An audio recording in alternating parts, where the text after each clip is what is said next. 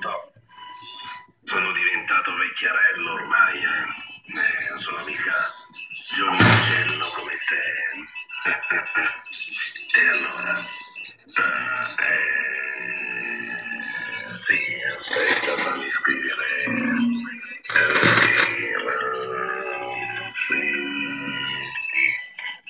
Ok, allora, Italia chilometro 1, eh, Giulietta, Università, Ontario. Da Italia domanda numero 7, Livorno, Firenze, Napoli, Uber.